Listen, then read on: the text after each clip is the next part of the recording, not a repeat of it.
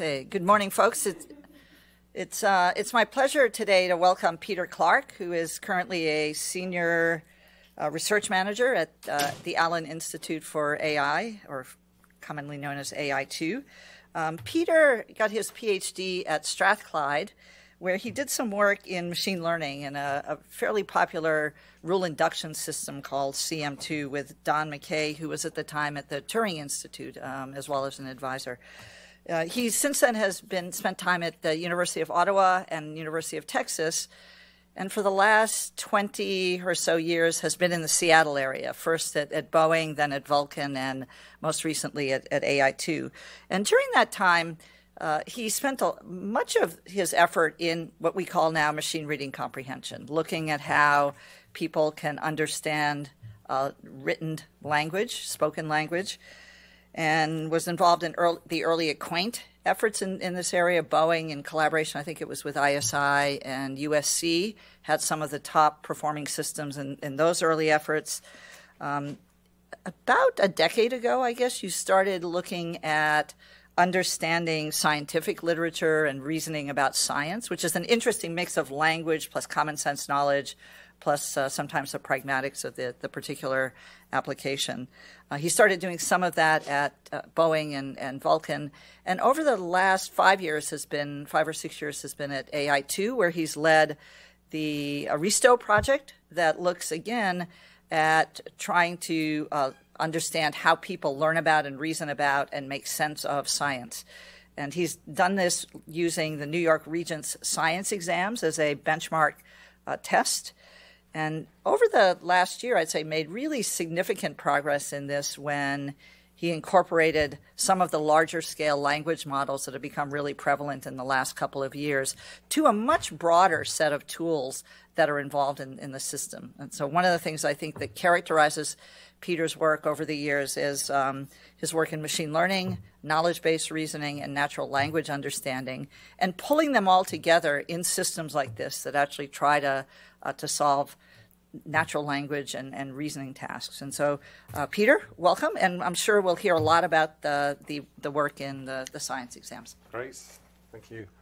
Uh, yeah, thanks for inviting me. Um, as you know, we had uh, um, a success with our Aristo system during the summer where we got uh, over 90% on the eighth grade science exam. So, what I want to do today is to tell you a bit about uh, what's inside Aristo and what it does, and um, partly on Susan's request to try and dig in a bit into the details about what's going on under the hood. Is it just doing glorified pattern matching, or is there something more significant going on?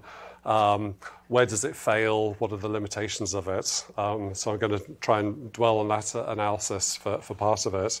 Just as, uh, just as background, so the whole endeavor of Aristo came from Paul Allen. Uh, so he had a vision of uh, building intelligent machines, the, the, the, grand AI vision. In his, in his book, The Idea Man, he writes, um, over the last decade, I began to think about a digital Aristotle, an easy to use, all encompassing knowledge storehouse to advance the field of AI. And so Aristo is kind of Aristotle as a boy, so that's where the name came from.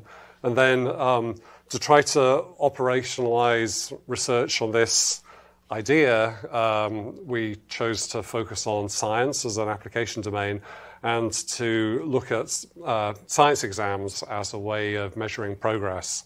Um, and when you see some of the questions on the science exams, uh, you'll see why this is particularly uh, challenging because these questions are hard.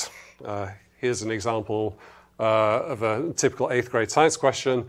How are the particles in a block of iron affected when the block is melted? And the answer is the, the particles move more rapidly.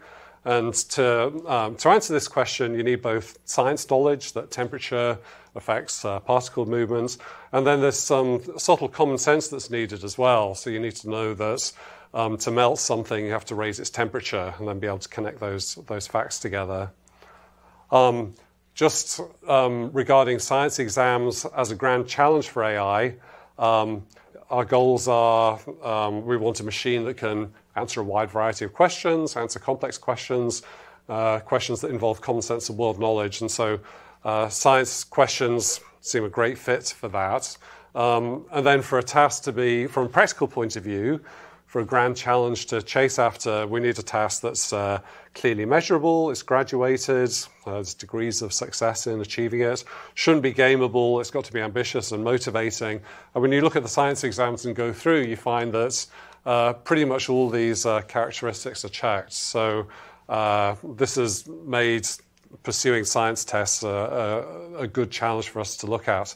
It's by no means a sole test of uh, intelligence, of course. It's just one example of uh, a way of measuring a, a, system's aptitude, but it certainly has a lot of the requirements that you'd uh, like to meet for, for a grand challenge. So here's a couple of example questions. So um, this is a simple question that we uh, get in the exam. So which object is the best conductor of electricity? And the answer, of course, is uh, an iron nail. And the, the reason this is relatively easy is because if you go on the web, there's actually many sentences that say nails conduct electricity. Um, a more challenging question would be this one. Um, city, this is one of my favorites. Uh, city administrators can encourage energy conservation by doing what? Uh, lowering parking fees, building larger parking lots, decreasing the cost of gasoline, or lowering the cost of bus and subway fares. So this is the right answer here. So this, to, to solve this, at least in a principal way, is very complicated. You need to know that uh, lowering bus fares is going to include, encourage public ridership, which is uh, good for energy conservation. So it's, uh, it's a tricky question. There are many questions like this in the science exams. Um, there are a couple of categories of questions that we've not covered in the last couple of years. So our work uh, this year and the previous year has been on uh, non-diagram multiple choice questions. Uh, so the last couple of years, uh, we've steered away from diagrams. And the reason for that is, um, as you can see here, there's a huge variety of different types of diagrams that appear, all with quite different semantics. And this is a very, very challenging task to interpret these, and even just to do the basic uh, image processing. Um, and then, uh, at least for the, the work we've done this year, we've not focused on direct answer questions as well. Part of the reason for this is most of the direct answer questions in the Regents exams uh, are about diagrams. So out of uh, 482 direct answer questions in the Regents exams, only 38 don't involve diagrams. So it's a fairly small, uh, small fraction. Um, and then, secondly, direct answer questions uh, in science are again extremely challenging. They involve synthesis and explanation, and these are again uh, areas for kind of further study. So, for the point of view of this talk, I'm just going to talk about uh, the, the non diagram multiple choice questions. Um, this is so we've been working on this for like uh, six years. Uh, when we started, which was when AI2 formed, uh, back in 2014, we were getting a score of about 36% on the eighth grade exams. And then we added in some uh, baseline methods using statistics and information retrieval, a couple of rule based systems to try and do some uh, simple uh, reasoning about questions. And that got our score up to about 63%. And then at that point, we um, released uh, a challenge to the community called the Allen AI Science Challenge. This was on the uh, Kaggle uh, uh, framework. Uh, so we released several thousand eighth grade questions and challenged people to build a system that performed well on this. we had about uh, 3,000 downloads of the data set. There are about 750 uh, teams that uh, entered the competition. Um, but even after all that work, the, the winning system got just under 60% on this exam. Uh, and so that led to this article that appeared in Business saying the best AI still flunks eighth grade science, which was a re- reflection on the challenges of trying to, trying to answer these questions. So this was the state just three years ago. Um, then we continued to add uh, some additional uh, reasoning methods. And then, of course, uh, the big change this year has been with the addition of new language model technology, where um, suddenly our score has jumped right up to uh, 90%. So uh, language models have had a huge impact and actually are responsible for most of the, the heavy lifting now within uh, Aristo. Um, and interestingly, at EMNLP two weeks ago, uh, Noam Slonim was talking about the IBM debater system, and he put up a uh, progress plot very similar to this, and he had a big leap at the end for the last year uh, for similar reasons. Um, and I think this graph really shows, reflects the progress of NLP as a whole, um, uh, in particular in the last year with these new language models. So um, this has been uh, pretty uh, su- surprising to many people, in, uh, including us.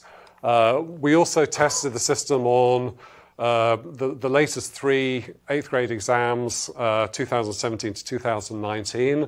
Uh, the system got 93% on the non-diagram multiple choice sections.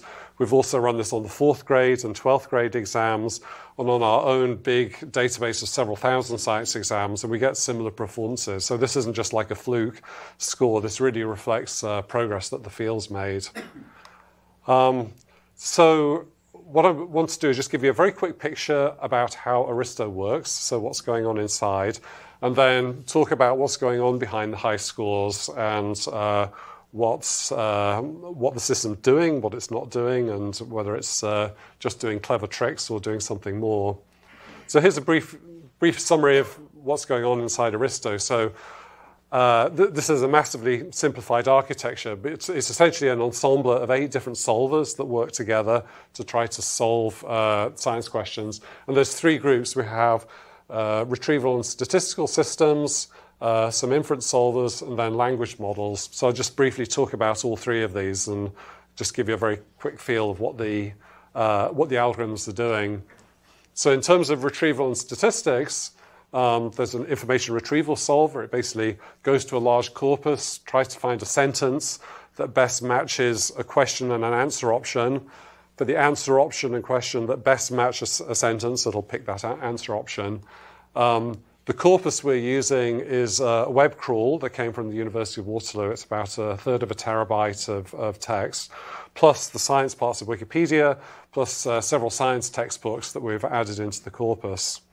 Um, then we have a PMI solver, which simply tries to look at uh, correlations between question words and answer words uh, using the PMI measures, and we look at uh, uh, unigrams, bigrams, skipgrams, and so on, and to try to pick the answer option that seems most correlated with the, uh, the words in the question. Uh, and then we have another system called ACME, which is sort of like PMI, except instead of linking question words with answer words, it tries to do this via science terms and a term bank. So we have a term bank of about 5,000 uh, science terms, and the system uses vector spaces to uh, try to work out whether a question and answer relate to a common term within this, uh, this term bank. And so the insight here is that uh, um, if you want to assess the lexical cohesion between a question and an answer, you can do this better by pivoting through a space of uh, uh, science terminology. And so all these methods are really good for simple questions like this one. Uh, infections may be caused by mutations and microorganisms. Here is the right answer. And a question like this is well supported. There are many sentences in our uh, corpus which say things like products contaminated with microorganisms may cause infection, which provide both uh, IR evidence and statistical evidence for this kind of question. So those are kind of the retrieval statistical systems. Uh, then we have a set of inference solvers. Um, again, just to briefly summarize those. The first one is um, called tuple inference. And so this tries to reason with uh, a set of uh, tuples extracted from natural language. So we take sentences, uh, extract the subject, verb, object structures, sometimes with additional arguments, and then align these with the, with the, uh, the question. And so the, uh, um, the insight here is that tuples strip away some of the irrelevance uh, information contained in sentences and more uh, clearly crystallize some of the core content. And um, we can also use these to try to do some sort of chaining and reasoning. So just to illustrate how this works, here's, a, here's another question. Um, stormy weather negatively affects the coastline by causing erosion. So given a question like this, uh, the system first of all retrieves tuples from its uh, knowledge base of tuples and also on the fly from a text corpus. So it might retrieve, say, uh, waves often re- result in erosion, storms can generate waves. And then there's a transformation process where we replace the, uh, the verb phrase in the uh, relation here with one of 20 uh, formal relations from a, a, small ontology of relations. So these might get transformed to waves cause erosion, storms cause waves. And then there's a chaining process which goes on where we have a set of rules that relate these 20 relationships together. Uh, so, for instance, that uh, causes is a transitive relation. And so we can derive some inferred tuples like storms cause erosion. And then at the last stage, the system forms a support graph using all these tuples to try to align all the tuples it's retrieved with a question, kind of as illustrated up here. And we use inductive logic programming to, uh, to try and find the optimal support graph subject to a set of constraints. And there's some hard and soft constraints. And they're constraints like um, the tuple should cover as many of the question words as possible, and at least one tuple should cover a question and an answer word together. So this is the way this, this algorithm works. Uh, we have a specialist solver for answering qualitative reasoning questions. So this is an unusual solver, and this only fires when it sees qualitative questions like this one. Why does a to- toy car roll further than a wood block? Sorry, why does a toy car roll further on a wood floor than on a thick carpet? And the answer here is the floor has less resistance. So when we see a question like this, we uh, immediately think, okay, this is about friction and distance and so on. So we have some qualitative knowledge that we bring to bear to answer this. Um, in the early versions of this solver, we hand built some of these relationships. And in the newer version of this system, we extract uh, a large number of qualitative relationships from uh, open domain text.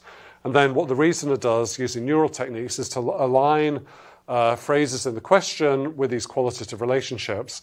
Like roll further means there's more distance, and less resistance means the friction is down, and so on. So it can come up with the, uh, with the correct answer.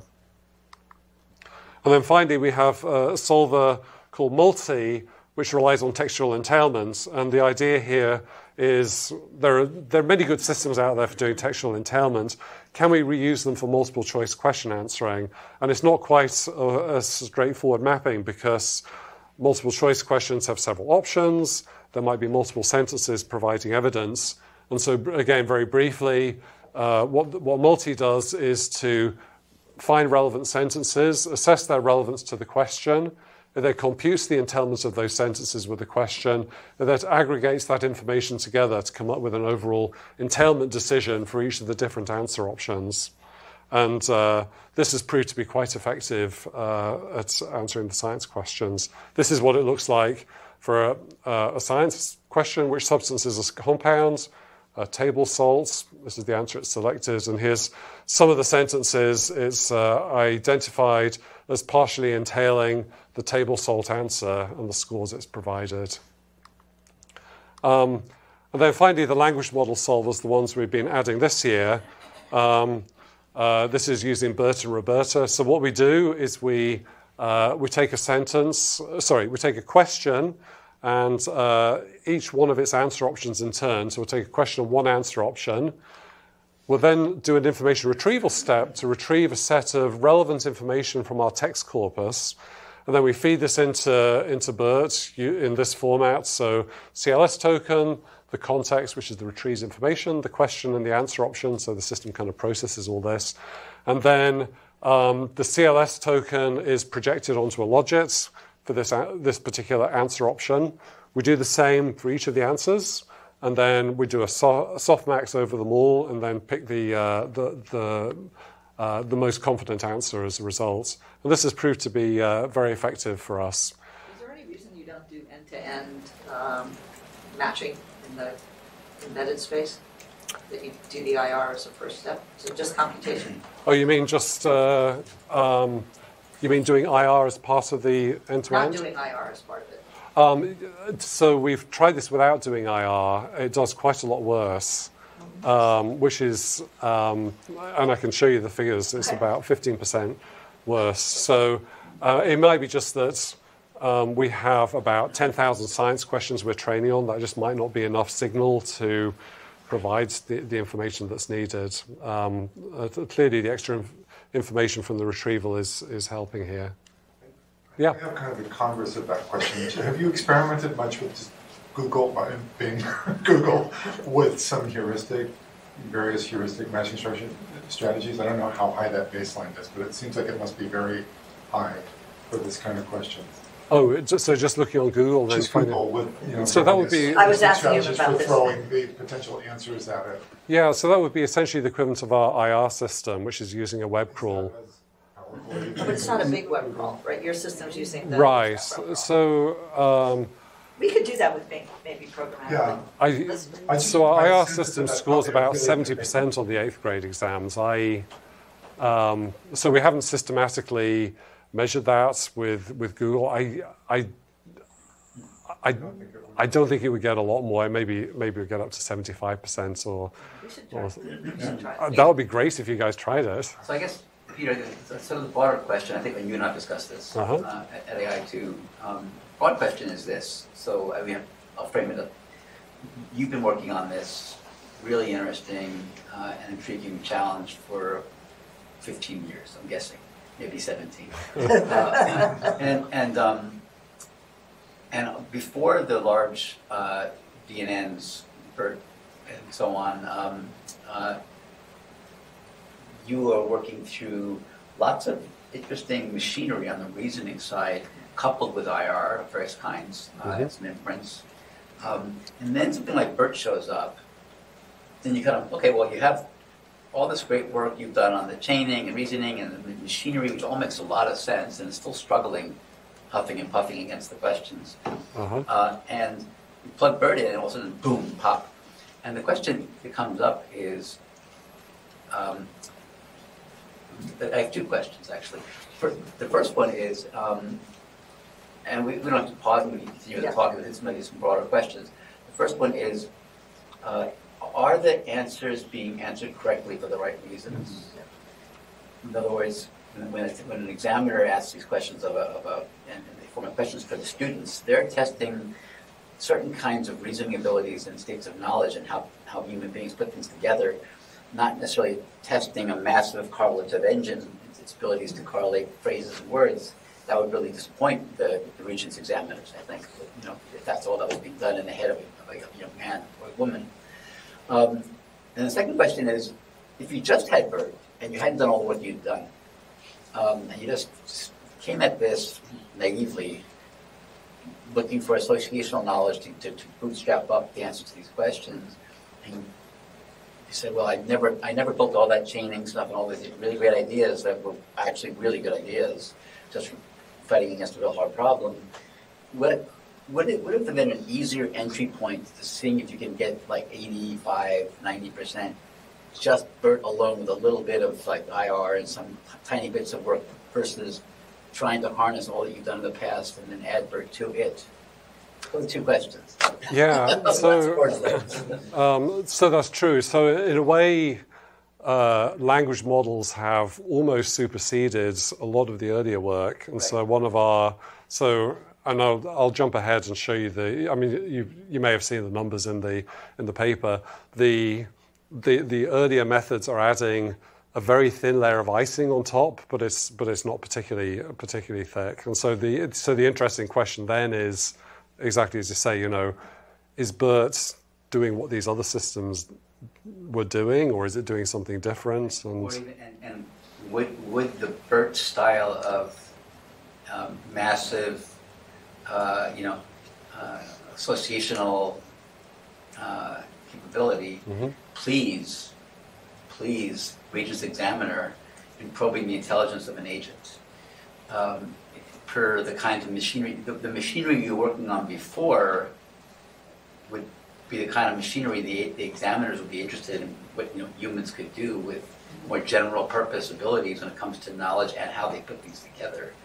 And so that's an interesting question. That, you know, sort of we, Well- we, we, you know with you know. Uh, right, and it, it, it- it, they're- they're- the, the, the people at the, who make the test questions are not necessarily, they're getting at some ability, set of general intelligence capabilities and Mhm. plus knowledge, not at like, can people do a massive quick set of lookups and then uh, write down tables of numbers and then add them together and, and say, I think it's of these four question answers, it's this one more likely. Yeah, I, I think to, to, for the majority, the examiners would not be would not be satisfied because the exams are meant to test, you know, does does this person have an understanding of science, and the tests are meant to be a proxy for that. Right. And so the question is, you know, does you know BERT or Aristo BERT is it understanding science at all, or is it doing so, so, um, something? Yeah. So, um, so, so what I'm going to do, let me, I'm going to jump ahead to talk about that analysis because we've done quite a lot of probing of what's going on to try to answer that and say, is My, it my, my intuition is don't throw away your old work just yet. right? Right. Okay. That's good to hear. Um, and in, partic- in particular, the cases where BERT fails are very interesting. Yeah. um, because that shows that some degree of structured reasoning is, is needed. I mean, you know, my, my sort of belief is that we need, you know, systems do have some kind of, humans have ability to do systematic reasoning, and we need that in our language models. And there are very clear cases where uh, even BERT falls flat on its face because it doesn't have that capability. Um, now, whether that's systematic reasoning, I, so I don't believe it's now deductive logic that's needed for that. Rather, there's a sort of soft linguistic reasoning that we're capable of doing in a soft sense that I think language models probably could be trained to do and maybe done in the future. Yeah, just saying, I think to the extent that these associative models do do really, really well in this test, it may say something more about the test itself and Right. whether Yeah. these That's right. tests favor that kind of. Right, and, and for sure, um, there's, there's sort of limitations in multiple choice tests uh, that have been. Uh, The test tends to just be structured around that kind of knowledge, and people who have a lot of that associative knowledge do well on them. Right, And it may not be really testing fundamental understanding of scientific concepts like Right. traction, right, friction, and that kind of No, but I, but I, but I think that I I would put it differently. You're saying people who have social, social knowledge do all these kinds of tests. I think it's the- quite the opposite. I think human beings don't have big corpuses of necessarily associational knowledge. They actually, they can actually reason. So for the, for the mind of the bounded rational student, the tests are actually Maybe. Forcing them to do some reasoning. But, but, but they're but they're not forcing BERT to do reasoning, they're forcing BERT to Right, just right, right. spit out statistics. Well, I, but let me. People have huge memories, and some of it is reading text, some of it is interacting with the real world. And, uh, Yeah. yeah, I don't know that it, it's not uh, I I don't mean, an I don't mean to be, interesting but- match I don't mean to be between. dogmatic about it not, Yeah. but I'm saying, sure, there's intuitions there, but there's some also, because they, they don't have a massive Burton model necessarily in their brains, potentially. They're actually forced to do a little bit of reasoning. Right, but I think, Yes. but, but, but there's, there is a question. There is a question about whether BERT is doing some kind of reasoning. I mean, to get, you know, I, to get up to 60, 60 or 70% on the exams, you probably can get away with just matching. But I think there's a bit more going on, which I can, I can talk about. So I'm, going to, I'm just going to skip to, to talk about that. So this is, this is the breakdown of the scores on our different exams, the fourth, eighth, and 12th grade science, and then our um, AI2 reasoning challenge data sets, which are much bigger data sets of science questions. And what you can, here's Aristo at the end, here's the individual solvers. And what you can see, as we just discussed, most of the heavy lifting is being done by the, uh, um, by the language models. And so there's an interesting question here of, you know, what's going on here? Um, is it doing anything clever or is it just doing sort of glorified matching? So that's what I let me switch to talk about that because I think this is probably for this audience is the most uh, interesting bit. Um, so one thing that's been observed in the literature is about annotation artifacts that, uh, uh, particularly if humans write questions or Turkers write questions, sometimes there are giveaways that show what the right answer is. So one test is uh, how well can Aristo do if we hide the question and just give it the answer options? Um, so friction, light, force, or weather, you know, what's the right answer? I don't know, maybe a neural system can figure it out.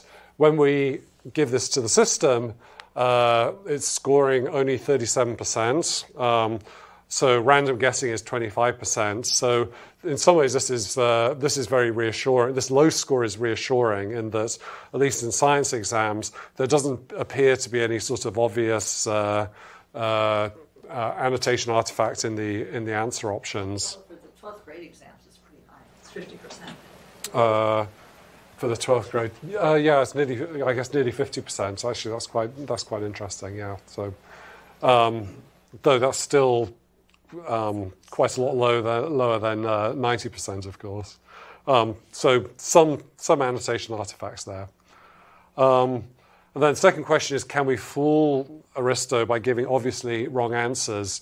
So here's a question Aristo gets right. Uh, the condition of the air outdoors at a certain time of day is known as what? The answer is weather.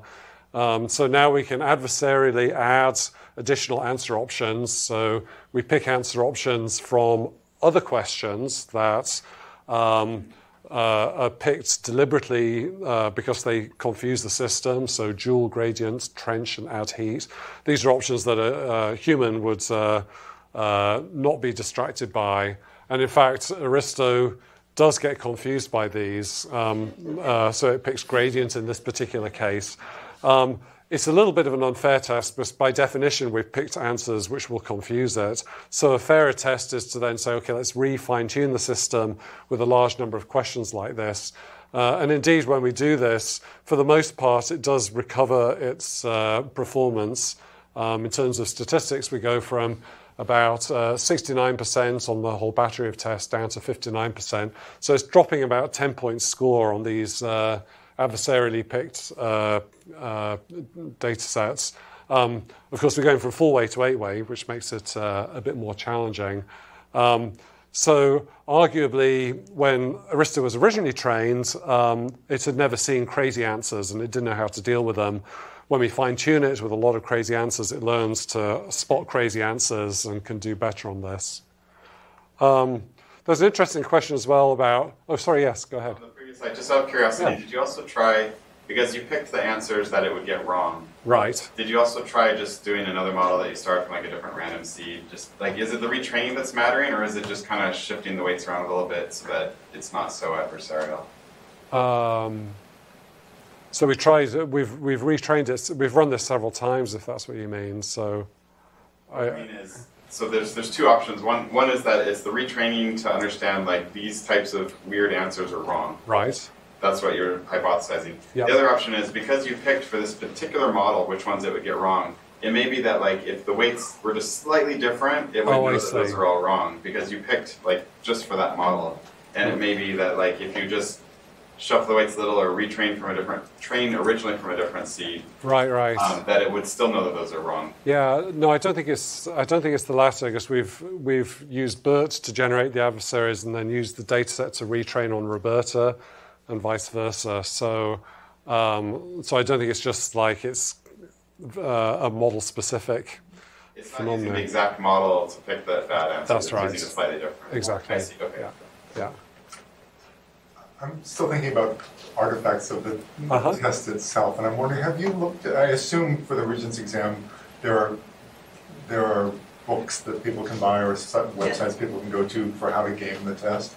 Have you looked at those to try to get a sense of what strategies, what sort of low-end hacks people use to do well on this? Yeah, I so I know general multiple choice strategies are out there. Things like you know, try, if you don't know the answer, try to at least exclude one, and if you not you know if there are three numbers are similar, then it's probably one of those three. Something obvious there. Um, What kind of cues, superficial cues might help? Yeah, we didn't find anything that was particularly helpful there. Um, I think the I think the you know the biggest cues might be just kind of are word correlations enough to to answer these questions without understanding science.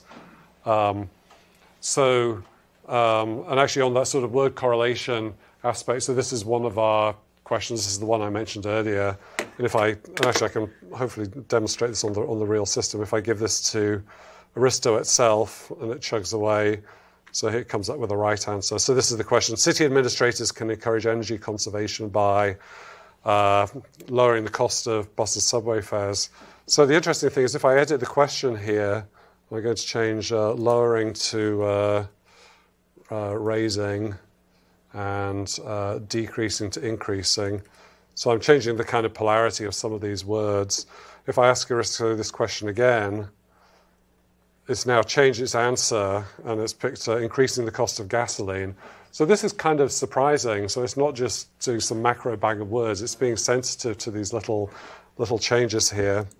And um, Can you just try that query? on- Just grab the city administrators can encourage part, try it on uh, Bing or Google. oh, uh, uh, I can try. Well, let me see what I can do here. It- It'll bring up Peter Clark's triple It might, but you have to worry that if all these answers and questions are out there, it should do. Well, that's right. There's, But there's I'm right. just curious to see City, whether. city administrators can encourage energy conservation by. Do you want me to just type that? Yeah, but Or whatever. in quotes. Let's see what we've got here. Just see if you find more buses or um, parking. Okay, we have install electric vehicle chargers. Um, The very first applic- result. the very first result. Question: Do away with. Public, public transport, light buses and mits. Okay. I think it's, a- it's a fun, Okay. you want to try it? So there's some some knowledge there. So, I mean, the the important point that I wanted to make uh, on this question was not less the um, specifics of the uh, um, of this question, and more the, the system was uh, sensitive to the uh, flip in polarity, where I was switching the uh, switching the switching the uh, um, increasing to decreasing. And then another one, which is interesting, and I'll, again, I'll see if I can uh, submit this one. And now I've, I'm just going to have to, let's see, put this over here. So let's see if I can, um, I've got the split screen here. So which of the following organs does a squirrel not have? A brain, gills, a heart, or lungs? And so the system correctly says squirrel doesn't have gills. Now, if I uh, ask the question again, I'm just going to take out the negation here, trying to uh, do this on the screen here, and it chokes away. And now it's changed its answer to lungs. So again, it shows some sort of sensitivity to negations. So that, that's, that's kind of interesting. And the, and the question there is whether um, uh, you know, is this just a fluke or is there something systematic uh, going on? And so we've um, we've done a few probes to look at some of these features. So we're looking at uh, negation, conjunction, polarity, world tracking, and so on uh, to see how it behaves. Yeah, So just a clarifying Yeah. question, is this the whole Aristo system or just the BERT part? it's it's uh, it's a subset. It's the BERT part plus two or three other solvers, but it's mainly mainly the BERT part is what BERT you part alone does do this. Yeah, that's right. It's the it's the BERT part. Yeah. So to test negation, for instance, we created a synthetic data set of state of uh, questions like this, where we give some backgrounds like Alan is small, Alan is tall, Bob is big, Bob is tall, and so on. And then which of the following is not tall? Alan, Bob, Charlie, or in this case, David. And when we give this to Aristo, to the Aristo BERT system, without any fine tuning on this, so we're not we're not trying to see whether BERT can learn these. We're trying to see does it just know these from its science training. Uh, we find it gets 94% on this. So it seems, at least on this, this is a sort of imperfect trial, at least in this context, it really seems to understand about negation here. So we'll give it an A there. Um, for conjunction, we created this data set where we again we got similar statements about people, and we asked questions like which of the following is big and blue, and uh, the answer here is is Charlie. And again, when we look at the scores over this data set, with one conjunct it's getting 98%, and then going right up to four conjuncts, it's getting about 80% of them right. So it's doing some kind of reasoning with these conjuncts. And then if we throw in a negation, the scores go down a little bit. But even with four conjuncts and one negation, it's scoring 75% on this data set. And as I say, this is without fine tuning on this data set. It's just throwing the data set as is to Aristo. So this is an example of this last one. So we have a lot of context and we ask, which of the following is uh, old and red and light and big and not short? And then we have a bunch of answers, and the answer is um, well, I'll let, you, I'll let you guys work it out. I think, I think it's Alan in this case. Um, so we'll give it a B plus here. Um, for polarity, um, this is the flipping that I described. So we have context like sound has a slower speed at lower temperatures. Then we have a question like if Jim turned the thermostat down in his room while listening to music, what will happen to the speed of sounds? And the answer is um, sound waves, they'll slow down. And what we want to see is whether Aristo can get this correct. And if we flip the polarity, so we change down to up, uh, which flips the answer option, will it also get the flipped answer correct? So it's got to get both of them correct in order to score a point. And when we do that, we find, surprisingly again, it gets about 67% of these uh, correct, uh, which is, uh, again, pretty interesting. And again, showing it's not just sort of doing some sort of glorified word matching. So we'll give it a D plus. We know from experiments if we fine tune on this data set, it gets scores up in the 90%. Um, but just out of the box, it's, it's getting uh, uh, about 60%. And world tracking is where there are questions, it's a certain breed of questions where you need to follow two different entities through a story. so, an example here is uh, John and Rita are going for a run. Rita gets tired and takes a break on the park bench. After 20 minutes in the park, who has run further? And the answer is John, but if we switch Rita for John here, we would uh, get a different answer. And the system gets about 72% on these difficult questions, which is higher than our best system that we built painstakingly a couple of years ago on this data set. So we'll give it a C. Uh, factivity, these are uh, factive verbs where verbs that make a presupposition about what follows. So if something someone regretted that a particular thing happens, then you know, did it happen or not? System gets about 66% on that. And finally, on counting, we use the, the bAbI dataset for counting, where we have questions like um, Daniel picked up the football, Daniel dropped the football, Daniel got the milk. How many objects is Daniel holding? Uh, Aristo was terrible at this. It had no idea at all. It got 6% on this because it kept on choosing a very rare answer option 3 all the time. So it gets an F on this. Um, so the, the, the bottom line here is that there's more going on here than just sort of bag of words matching or syntax alignment. The system has some knowledge about some of these logical operators, but it's not systematic in the way people reason with it. It's sort of approximating the behavior we'd like to see. Um, so that raises a lot of interesting questions about, you know, do we consider this reasoning? Would the examiner be happy to see that it's being able to do some of this uh, conjunctive stuff? So finally, let me just talk about where, um, where Aristo fails. So there's some interesting insights here. So if you recall, we give a question and answer option. We retrieve some text. It sort of reads it and then comes up with an answer. Um, it's interesting to look at the text that's retrieved for cases where it gets the answer wrong and, and ask, um, did it get the answer wrong because um, it just simply wasn't given the knowledge? Or did it have the right knowledge from information retrieval, but somehow it's uh, not able to correctly make sense of it? So we did a study of 30 failures, and we find actually only in four cases there's good support for the correct answer. Um, so most that, that, means in almost all the cases where the retrieval is providing good support for the right answer, it's actually picking that answer. So that's uh, um, quite surprising that it's able to kind of untangle the language. Um, one case there was good support for the incorrect answer.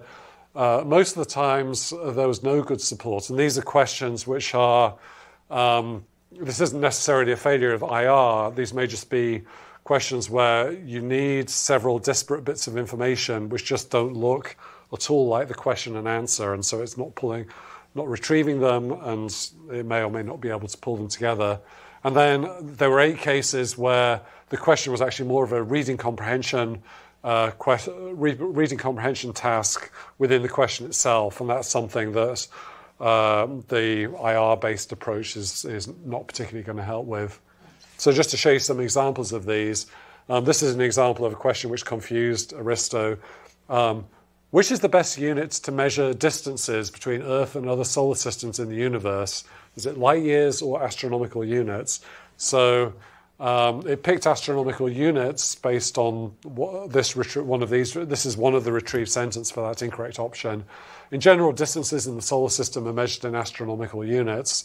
Uh, there is good support for the correct answer, which is light years. So you can see here, Aristo's got confused about the difference between measuring distances within the solar system versus distances between solar systems. So this is, um, you know, one of the less common cases where it's not paid attention to the, the nuances of the language properly. these questions, do you have normative data of what people do, Um, we, what students do?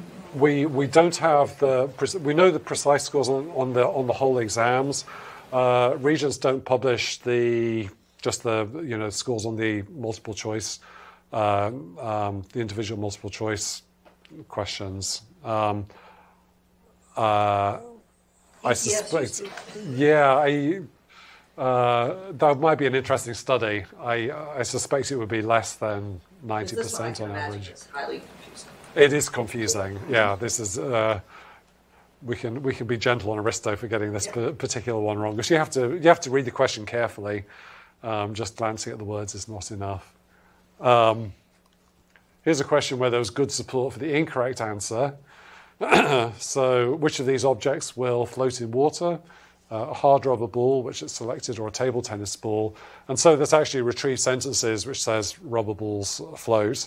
Um, arguably, Aristo still shouldn't have chosen this because the question says which is most likely, comparing different answer options. But the way Aristo's built is it treats each answer option individually, and so it can't compare the uh, compare the two. Um, most interestingly, are questions where there was no good support for the correct answer um, uh, because the question has a degree of complication that uh, there just isn't a good s- supporting sentence in the corpus. So, uh, this example I mentioned at the beginning how are the particles in the block of iron affected when the block is melted? So, there are sentences in the corpus that will say temperature affects particle movement, and there are sentences which talk about temperature uh, being related to melting, but these don't get retrieved here uh, because the kind of key pivoting word temperature is not mentioned in the question, and so the system fails here. So this is an example where some sort of multi-step retrieval or multi-hop reasoning is needed. Sometimes we get questions like this, uh, which require question decomposition. So uh, the question here is, an eagle and a pelican are different. What is one difference between them? Uh, picks their method of reproduction. The correct answer is their method of catching food. The retrieved information is completely hopeless here. It picks all sorts of random things about eagles and pelicans. Um, and clearly, to answer this, uh, there's a structure to this question that the system is completely oblivious to, and it's uh, not being able to, to uh, pick that up and decompose it. Um, another complicated question here which characteristic applies to animals in only one of these taxonomic categories uh, reptiles, mammals, birds, amphibians, or fishes. The answer is have hair and it picks lays egg, eggs. And again, the information retrieval doesn't pick anything uh, correct because of uh, um, all these different features uh, being combined together. Really, the system should go out, should realize there's a comparison going on, should go and get properties of reptiles and mammals one by one. So again, there's more structured understanding of the question that's needed here. And then finally, which geological structure which will most likely take the longest to form? Uh, and again, the system isn't able to compare uh, different answer options side by side. It's scoring each individually. If the scores are calibrated, it should, does it matter? Um, well, it should. I guess the question is longest time with respect to what? So uh, it'll score a mountain range. Uh, you know, is a mountain range a geological structure that takes the longest time to form? Is the question it's trying to answer. And is a river meander likely to take the longest time to form? Um, so the answer, you know, longest with respect to what? Um, there are story questions. So these are questions. There are a few questions where you have to actually read and comprehend the uh, the question, and then ask about it. So this is a question about doing an experiment, and the question is, what is the independent variable in this investigation? So clearly, doing information retrieval is completely irrelevant to this question, and it doesn't manage to handle it. And then these meta sentiment questions it struggles with. Which statement is an opinion? Uh, it thinks plant requires sunlight is the answer. Of course, many plants are beautiful. And again, this isn't something that retrieval's likely to, to help with. And then finally, this one I thought was really interesting. How long does it take for the moon to complete one revolution around the Earth? Uh, the answer is 30 days. It picks 365 days. These are the sentences it retrieves, and it has a lot of sentences giving precise uh, times that the moon orbits around the Earth, but it's completely unable to realize 27.3 is similar to 30, and so it goes to 365. Yeah. Is that like a possible bias? Because most of the time when we ask about something completing around something, it's usually about the Earth around the Sun. Um, so um, I think it's, it's not, not quite a bias. So um, it's correctly picked statements here about the moon orbiting around the Earth. For the um, 360, well, I guess there's a little bit about it. For the 365 day answer, it has picked up sentences about the Earth orbiting around the Sun. Um, so that's where that answer's come from. Um, and I guess it's just decided that matches better than these answers because it doesn't see any sort of alignment of the numerics. Yeah, that's a good point. So, yeah. So, so let me so um, let me talk about just just find these steps forward and what, like what needs to be done. So, I would say in summary, uh, what I've shown so far. Um, the surprising BERT shows shown a surprising ability to answer questions. It's clearly doing more than just uh, matching. There's some hints of reasoning, uh, simple reasoning going on. Um, but that reasoning is not systematic, it's, uh, it's partial. And there are, there are clearly classes of questions where it completely falls flat. So, how do we get beyond that to answer questions which uh, uh, deal with those? And I'll just mention um, uh, very quickly th- uh, um, three areas. So, the first is question decomposition. So, this is another example question which virus structure is similar in function to a cell membrane? The retrieved answer tells nothing, talks of nothing about virus structure and nothing about cell membranes. What's needed is a system that can decompose the question to say, well, what's the function of a cell membrane? It Surrounds and protects. What parts of the virus surrounds and protects? It's the protein shell, and then we get the answer. Uh, so this is something we're working on at the moment, uh, trying to get to, to, some sort of structured representation of the question. Uh, the second aspect is this multi-hop reasoning, where we need to do multi-step retrieval. So, what conducts electricity? Suit of armor or cotton candy? So, there's no sentences saying suit of armor conducts electricity. Instead, we need to do some retrieval about uh, conducting electricity and then pivot off what we found there to look for other facts which are relevant to the question. And now we can try to form chains of reasoning. So, taking each of these paths here through these retrieved sentences constitutes a, uh, a, a chain of inference. So, suit of armor is made from metal, and metal conducts electrical current. Uh, might imply suit of armor conducts electricity, so this would be a good chain. There are other connections just pivoting through the words that are not good uh, chains, so this would be a bad example. And so we'd want to train the system to then recognize good paths of connectivity between sentences from bad paths to recognize the good chains. So this is trying to get to some degree of language like inference to answer some of these questions. Um, third thing is modeling world states. So Aristo, it kind of knows about science, or at least it knows a lot of facts about science. It doesn't make any attempt to model the world. Um, so when we read a passage like this about photosynthesis, uh, we create a sort of mental picture of what's going on in the world. So roots absorb water from the soil. Uh, we'll imagine there's, okay, there's some water now at the roots, the water flows to the leaf. We'll imagine the water flows to the leaf, and we'll um, create this mental picture of what's going on at each step, how things are changing. The, the machine is not able to do that. So, you know, if I ask you, okay, where's the sugar created? You'll say, well, of course it's created the leaf because everything's flowing to the leaf in our mental picture. Uh, uh, running BiDAF, a simple um, uh, um, span prediction system on this, so as light, water, and CO2. Uh, so the neural systems have no envisionment about the world and how the world is changing. So this is something that, again, I think we need going forward. And then finally, um, uh, explanation and instruction. So humans can not just answer questions, we can explain our reasoning, And we're not just post hoc rationalizing because somebody can come and tell us that we're wrong and we can change our reasoning. So we'd like our systems to be able to do the same thing. So if I ask you, can you pick up a penny with a magnet, or ask Aristo, Aristo may say yes. I'll say why. Uh, and the system might say, well, pennies are made of metal and metals are magnetic.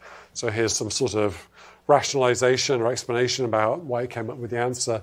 We'd like to be able to come back to it and correct some of its misunderstandings and say, well, actually, not all metals are magnetic. Copper is not magnetic. Try again. And then have the system say, okay, now I think the answer is no because pennies are made of copper and copper, copper is not magnetic. So this is the kind of interactive.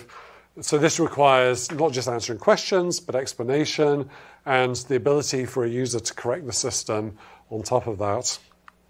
So just to summarize, as I said before, we have surprising success. As, as I've pointed out, this mainly reflects the rapid progress of NLP, and I've argued that we're doing not just pattern matching, there's more going on, but it's falling short with some compositional questions, and there's many other aspects of AI which uh, examiners would want that uh, uh, the system's not doing. And what do we need going forward? Well, we want to reintroduce some sort of structured reasoning, but I think not with the sort of formal logic structures, the, the ones I've uh, uh, spent years working with in the past, but more uh, language like representations to do the kind of semi formal uh, uh, structured reasoning that people do. And that's it. Thank you.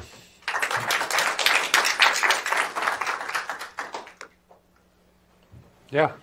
Thank you. Very interesting talk. Thank you. You mentioned that the performance drops if you don't feed in the IR output.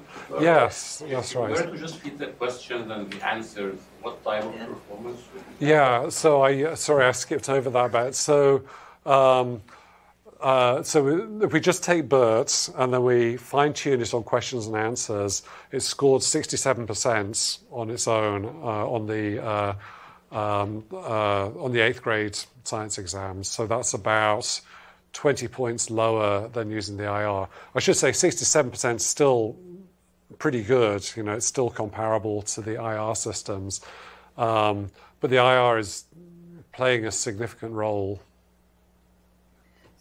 When you, can I just follow up? Yeah. Yeah. So when you do that, you ask, you ask a, the question with one of the answers. Is that what you give to the, Right. Essentially, so the you compute the similarity between the question and one of its alternatives? um, that's right. We'd feed we'd feed uh, the question plus answer into BERT and uh, and get the use the CLS token to get a score, and then we do that for the four answer options, uh, and so on. Yeah, Matt.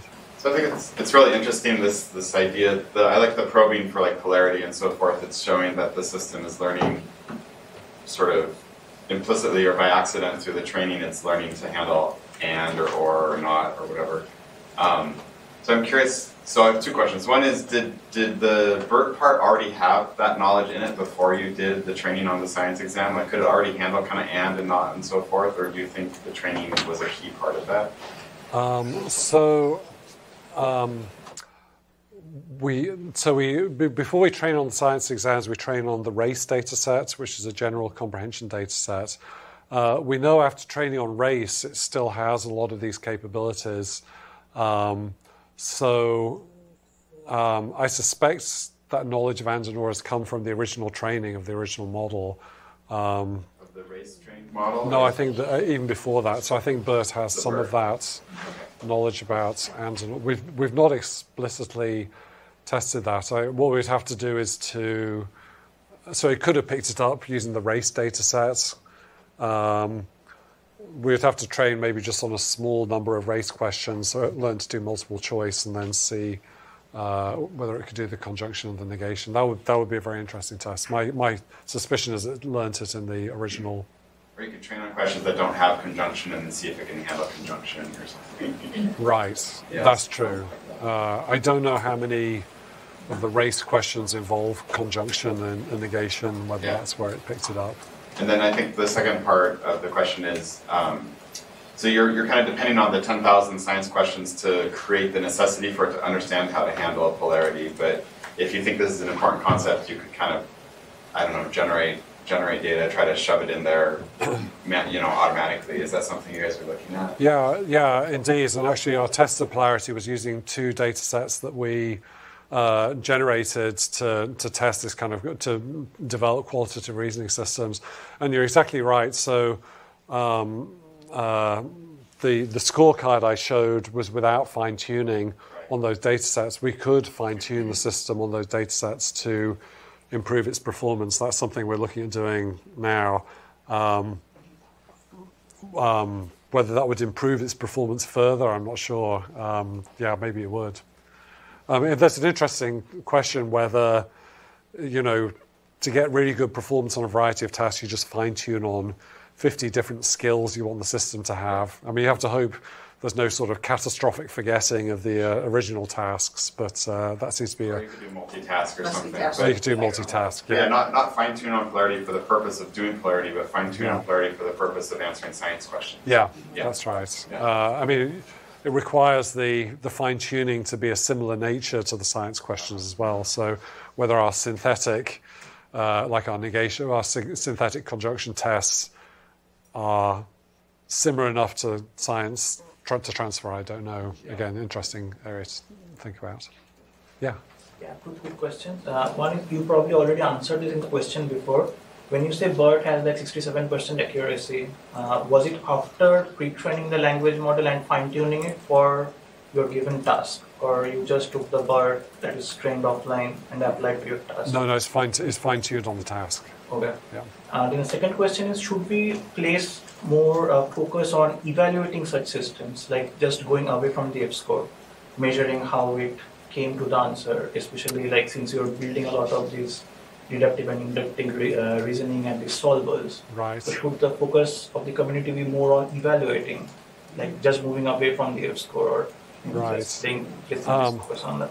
Um, so, so absolutely, I think the um, as, as somebody mentioned here, one one thing this, as well as showing that language models are good, this also shows some of the limitations of exams as a, measure of um, uh, testing whether somebody has understood science. Um, our, our big push next year is going to be into explanation. So, so um, if a system can explain itself, that adds some reassurance that the system has, uh, you know, is not just getting the answer for the wrong reasons, um, but is actually doing something sensible.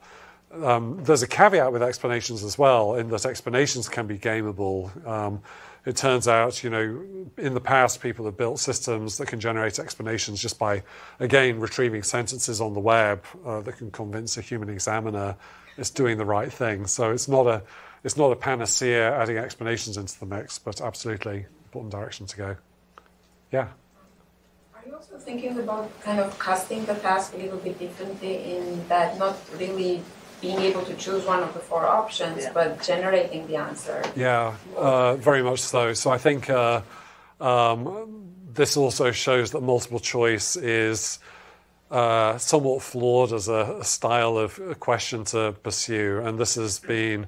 Uh, uh, many people in the NLP community have been banging their heads against the wall with every new multiple choice data set being solved by BERT in six months' time. So, yeah, I think moving to direct answers uh, is uh, absolutely the, the right direction to move. From an educational perspective, I feel Yeah. like a lot of times it's like a shortcut that we take. In Yeah, that's right. And, and multiple choice questions are um, they're, they're not a particularly useful form of question answering. You know, so if you if we wanted Aristo to evolve into a tutoring system or a, uh, uh, a scientist's assistant, uh, multiple choice is not the way to go. It needs to be able to do direct answers. Absolutely. Let's sit at the back. So this is about the nature of the task that you're setting uh, Aristo about. So I don't know how the examiners in New York State would feel about a test where that was totally open book, where the people coming in had access to all the information on the internet and all the time they wanted to answer each question. Uh, I would think that that would not be measuring what they're interested in. Um, and in previous generations of AI, we had ideas that the knowledge should actually be in the system, not in the web. Um, so is there an interest in pursuing the question of a self-contained system where having the knowledge in it and not just having it at the means to extract knowledge Well, from elsewhere is, uh, is that on the books in your, well, it's a little bit of a fuzzy boundary about what it means to have a self-contained system. So, so Aristo is self-contained. It doesn't go out to the web. It has its own corpus. I mean, that's a third of a terabyte. Um, we could have embedded that corpus within a neural model. Um, so, and then, you know, is it, is it now self-contained or not? I'm, I'm not sure. So, uh, yes, I agree that so it's a little bit, that's a question that has to be uh, confronted. But yeah. it's not something that can't be confronted, I think. Um, the, uh, uh, I mean, it's hard if you say, okay, the system can't use any external knowledge, but do you then put boundaries on what's inside? So, so is it allowed to have a third of, a, you know, a third of a terabyte of text? So you say, well, no, that's too much. But then we internalize this into a neural system. You know, is that okay? It's anyway. It's it's a. I, I do see I, I, I do see what you're getting. In some ways, you could argue Aristo cheating because it's sort of going out and looking up the answer rather than working it out itself. Um, but in a way, you know, if people have memorized the textbooks, they're sort of doing the the same thing as well. Yeah, everybody who interviews for a developer position is reading, cracking, the coding. Is that cheating? I don't know. Yeah. You understand? Um, this is maybe very hard to, to assess, but so going back to so let's say I don't care about the ninety percent. Let me let's talk about just the fact that you have a a, a reasoning system that's at the sixties, and I have a BERT model that's in the sixties, right? And I don't know why BERT necessarily is in the sixties. Um, is there a way to then use the fact that you have a comparison system to do introspection? So, for example, if I like, I think Noah has a new paper where they rearrange the attention, the self-attention in the linear layers inside the transformer, and they get the same perplexity on on um, like language modeling. So maybe you have the same perplexity on language modeling, but you can no longer do reasoning. Um, and so, was it the fact that you really do have to do an iterative sort of process of attention and, and, and mapping or something like this in order to simulate the kind of reasoning that you can do? Or is there ways to sort of start to kind of, since you have a real system, can we look at this neural network one and see if we can figure out how it's approximating Yeah. behavior? Um, yeah, that's a really good question as well. Um, so I can think of two things. One is if we have a sort of systematic way of solving a problem.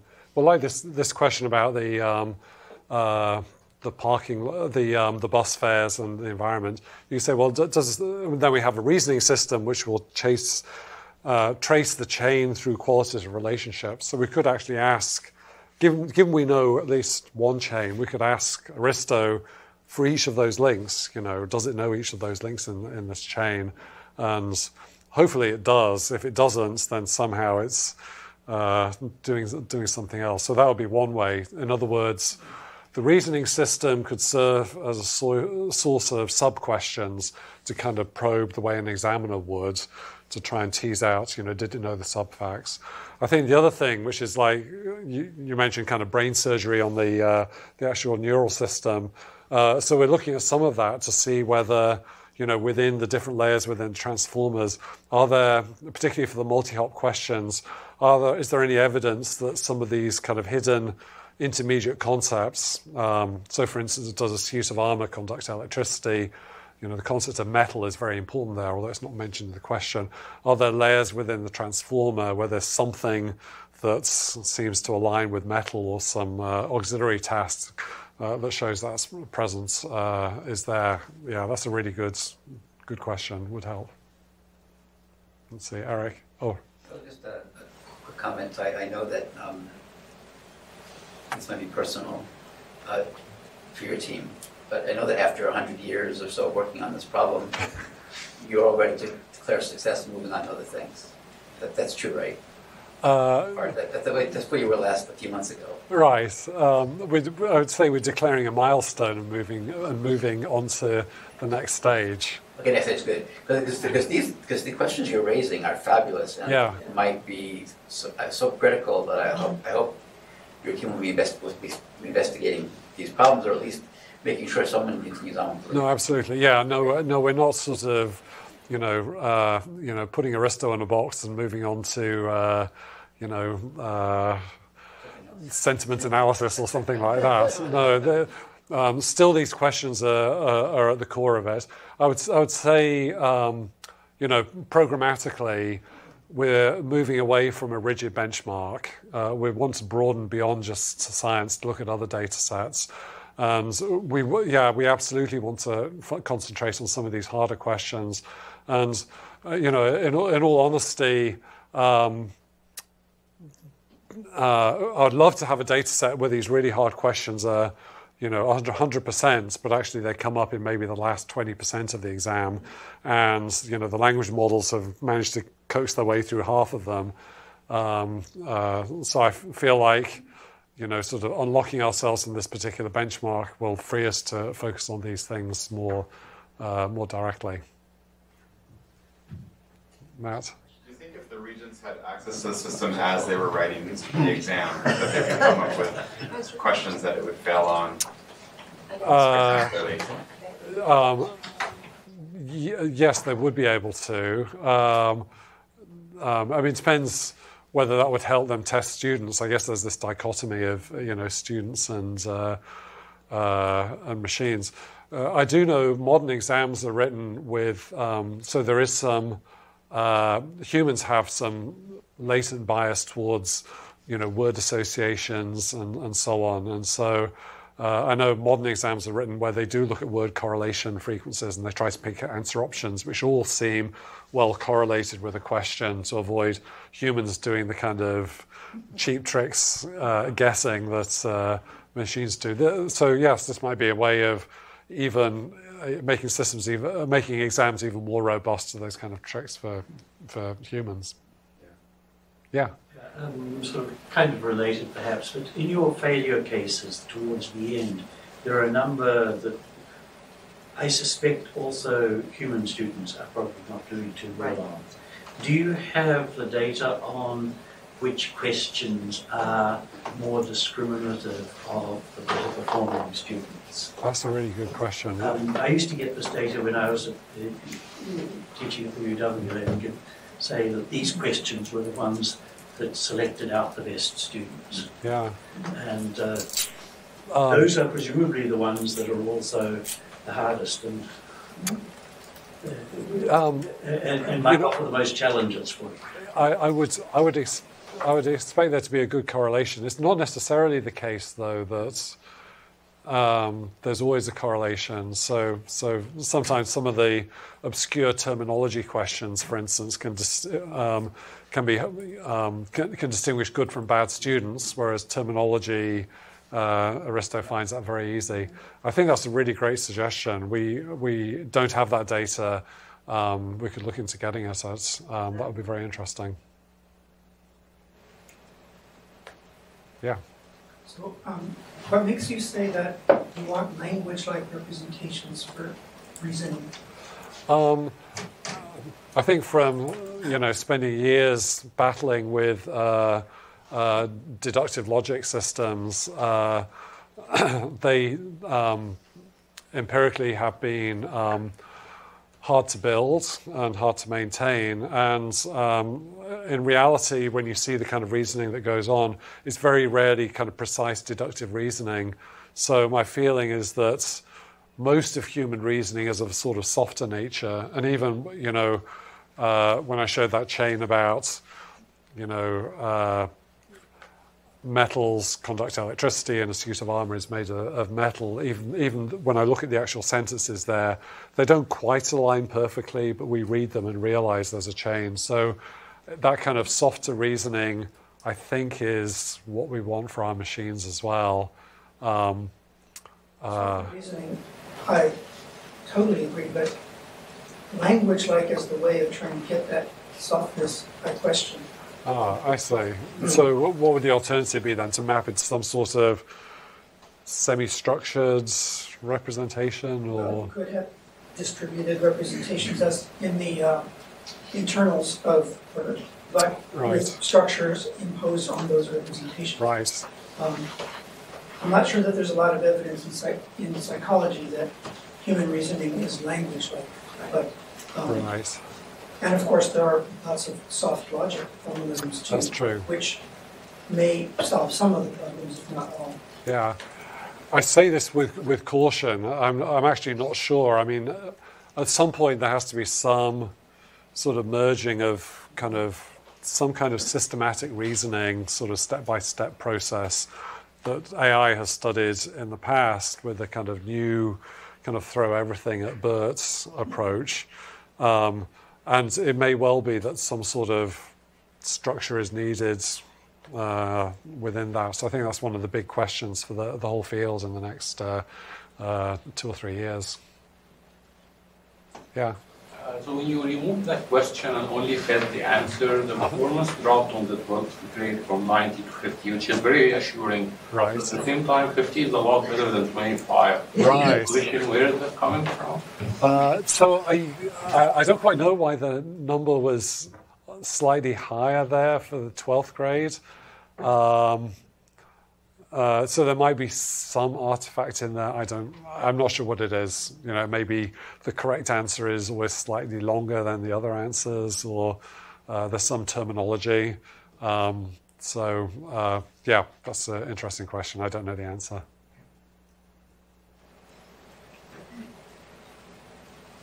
No, Thanks. Les, thank you very much. Okay. Awesome. Thanks for all the.